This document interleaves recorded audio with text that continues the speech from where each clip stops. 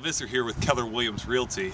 Usually I take my clients out by car, but today I thought we'd have a little fun with it and go by hovercraft.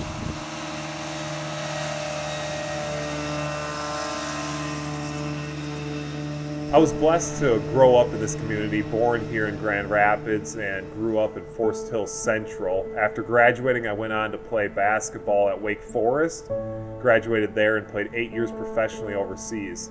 After that eighth season, I was just kind of ready for a change, ready for something new.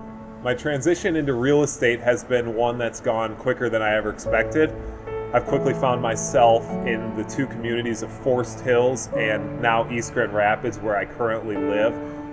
What makes Forest Hills and East Grand Rapids such amazing places is the walkability, tree-lined streets, the mature neighborhoods, the great architecture, um, just just special places to live in general.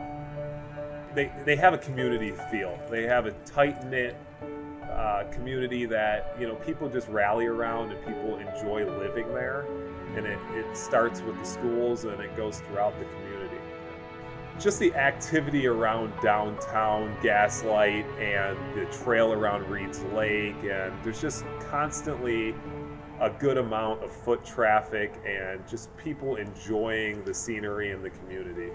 My family and I are just really active people, and it seems like every day my wife and I and our two kids are heading out from the house, and instead of loading up the car, we're just getting on foot and walking the Reeds Lake Trail, heading downtown to Gaslight, maybe to the library.